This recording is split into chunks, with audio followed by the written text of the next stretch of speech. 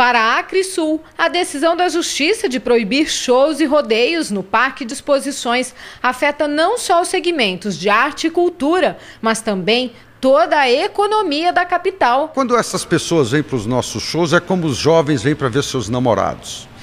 Uma menina vai lá e compra uma tiara, compra uma bolsinha, compra um, um cinto. É o taxista que vem, é o, comer, é, é, é, o pequeno empresário que põe a sua barraca, são os restaurantes cheios, os hotéis cheios, os músicos, a arte. São milhões e milhões de reais que deixa de circular na nossa economia.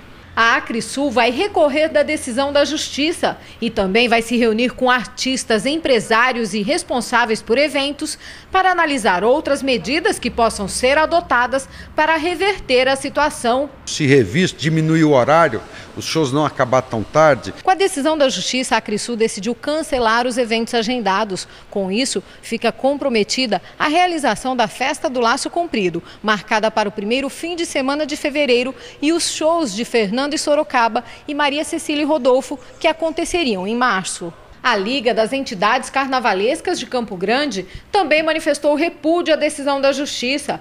O presidente da Lienca afirma que ela coloca em risco o desfile de carnaval. A Crisul cede o seu espaço interno da área de shows para que as escolas de samba montem seus carros alegóricos e as escolas partem daqui. Mesmo nosso desfile sendo no entorno da Crisul, nós tememos por uma ação judicial entendendo que o, a questão do, da lei do silêncio esteja sendo violada também no entorno da via, na, na Via Morena, no caso.